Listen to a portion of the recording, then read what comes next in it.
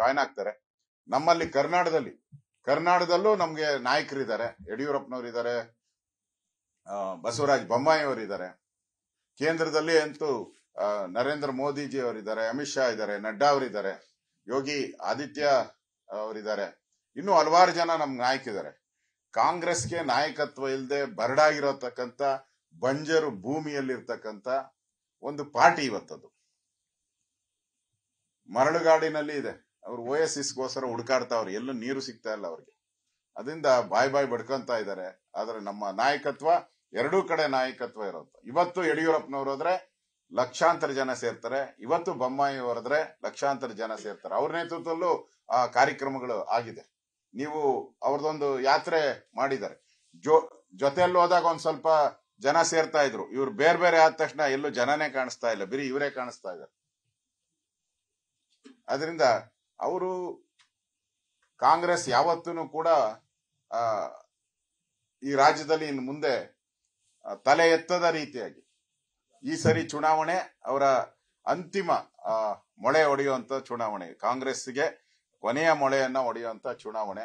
ಅದನ್ನ ಈಗಾಗಲೇ ಕಾಂಗ್ರೆಸ್ ಮುಕ್ತ ಭಾರತ ಆಗಿದೆ. ಕರ್ನಾಟಕದಲ್ಲೂ ಕೂಡ ಕಾಂಗ್ರೆಸ್ ಮುಕ್ತ ಕರ್ನಾಟಕ ಆಗುವಂತದಕ್ಕೆ ಈ ವಿಜಯ ಸಂಕಲ್ಪ ಯಾತ್ರೆ ಒಂದು ಮೆಟ್ಟಿಲು ಆಗುತ್ತೆ. ಇನ್ ಮುಂದೆ ಇನ್ ಮುಂದೆ ನಡೆಯುವಂತ ಕಾರ್ಯಕ್ರಮಗಳೆಲ್ಲನೂ ಕೂಡ, ಇನ್ ಮುಂದೆ ನಡೆಯುವಂತ ಎಲ್ಲ ಸಭೆ ಸಮಾರಂಭಗಳು ಕೂಡ ಕರ್ನಾಟಕದಲ್ಲಿ ಮತ್ತೊಮ್ಮೆ ಬಿಜೆಪಿ ಬರುವಂತದಕ್ಕೆ ಭದ್ರ ಬುಧಾ, ಬುನಾದಿಯನ್ನ ಹಾಕುವಂತ ಒಂದು ಪ್ರೋಗ್ರಾಮ್ ಅನ್ನ ಮಾಡುತ್ತೆ. ಇನ್ನು ಬಿಜೆಪಿಯನ್ನ ಕಟ್ಟಿಡಿದ, ಕಟ್ಟಿಡಿಯಕ್ಕೆ ಕಾಂಗ್ರೆಸ್ ಅವ್ರ ಕೈಲಿ ಇನ್ನು ಸಾಧ್ಯನೇ ಇಲ್ಲ. ಹೊರಟಿದೆ ನಮ್ಮ ಅಶ್ವಮೇಧ. ಬಿಜೆಪಿ ಅಶ್ವಮೇಧ ಹೊರಟಿದೆ. ಇದನ್ನ ಕಟ್ಟಾಕುವಂತ ಧೈರ್ಯ ಕಾಂಗ್ರೆಸ್ಸಿನ ಯಾವ ನಾಯಕರಿಗೂ ಇಲ್ಲ. ಸಿದ್ದರಾಮಯ್ಯನವರು ಸೇರಿಸಿ.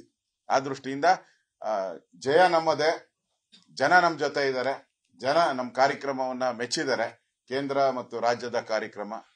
ಮತ್ತೊಮ್ಮೆ ಬಿಜೆಪಿ ಗೆಲ್ಲುವಂತದಕ್ಕೆ ಈ ಯಾತ್ರೆ ಬಹಳ ಸಹಕಾರಿಯಾಗುತ್ತೆ ಅನ್ನೋ ದೃಷ್ಟಿಯಿಂದ ಇಡೀ ರಾಜ್ಯದಲ್ಲಿ ಒಂದು, ಒಂದೇ ಟೈಮ್ ಹವಾ ಹವಾ ಹೇಳ್ತಾ ಇದೆ. ಅವರಿಗೆ ಇಬ್ರು ಹೋಗಕ್ಕೆ ಸಾಧ್ಯ ಆಗ್ತಾ ಇಲ್ಲ. ನಮ್ದು ನಾಲ್ಕು ಯಾತ್ರೆಗಳನ್ನ ನಾವು ಮಾಡ್ತಾ ಇದ್ರಿ ಅಂದ್ರೆ ನಮ್ಮಲ್ಲಿ ಲೀಡರ್ಶಿಪ್ ಇದೆ. ಅವರಲ್ಲಿ ಗುಂಪುಗಾರಿಕೆ ಇದೆ. ಅದೇ ನಮಗೂ ಅವ್ರಿಗೂ ಇರುವಂತ ವ್ಯತ್ಯಾಸ.